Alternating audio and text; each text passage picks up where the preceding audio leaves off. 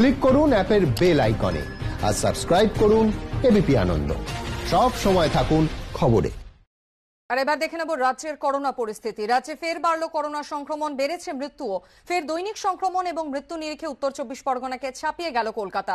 গত চব্বিশ ঘন্টায় সুস্থ হয়ে ঘরে ফিরেছেন দু জন।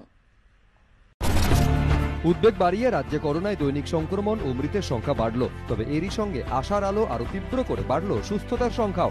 মঙ্গলবার রাজ্য স্বাস্থ্য দপ্তরের পরিসংখ্যান অনুযায়ী গত চব্বিশ ঘন্টায় করোনা আক্রান্ত হয়েছেন তিন হাজার একশো অষ্টআশি জন। সোমবার সংখ্যাটা ছিল তিন হাজার একশো পঞ্চান্ন, রবিবার তিন হাজার একশো পঁচাশি, শনিবার তিন হাজার একশো একাশি, শুক্রবার তিন হাজার একশো নব্বই। দৈনিক সংক্রমণের পাশাপাশি বেড়েছে মৃতের সংখ্যাও। মঙ্গলবার রাজ্য স্বাস্থ্য দপ্তরের পরিসংখ্যান অনুযায়ী গত চব্বিশ ঘন্টায় করোনায় মৃত্যু হয়েছে বাষট্টি জনের। সোমবার সংখ্যাটা ছিল অনেক কম, ছাপ্পান্ন।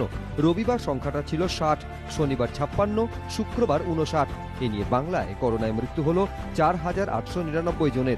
এখনও অবধি রাজ্যে করোনা আক্রান্তের সংখ্যা দু লক্ষ তিপ্পান্ন হাজার সাতশো আটষট্টি। উদ্বেগ বাড়িয়ে কলকাতায় দৈনিক সংক্রমণ বেড়েছে। মঙ্গলবার রাজ্য স্বাস্থ্য দপ্তরের পরিসংখ্যান অনুযায়ী গত চব্বিশ ঘন্টায় কলকাতায় করোনা আক্রান্ত হয়েছেন ছশো একানব্বই জন। সোমবার সংখ্যাটা ছিল ছশো আঠেরো। গত চব্বিশ ঘন্টায় কলকাতায় মৃত্যু হয়েছে পনেরো জনের। সোমবার সংখ্যাটা পনেরোই ছিল, তবে উত্তর চব্বিশ পরগনায় দৈনিক করোনা আক্রান্তের সংখ্যা কমেছে। মঙ্গলবার রাজ্য স্বাস্থ্য দপ্তরের পরিসংখ্যান অনুযায়ী গত চব্বিশ ঘন্টায় উত্তর চব্বিশ পরগনায় ছশো চৌত্রিশ জন করোনা আক্রান্ত হয়েছেন। সোমবার সংখ্যাটা ছিল ছশো আটান্ন, তবে উত্তর চব্বিশ পরগনায় দৈনিক মৃত্যুর সংখ্যা বেড়েছে।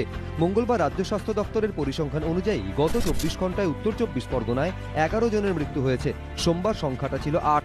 গত চব্বিশ ঘন্টায় বাংলায় করোনাকে হারিয়ে সুস্থ হয়েছেন দু হাজার নশো একষট্টি জন। এ নিয়ে মোট সুস্থ হলেন দু লক্ষ বাইশ হাজার আটশো পাঁচ জন। রাজ্যে বর্তমানে অ্যাক্টিভ রোগীর সংখ্যা ছাব্বিশ হাজার চৌষট্টি। এবিপি আনন্দ।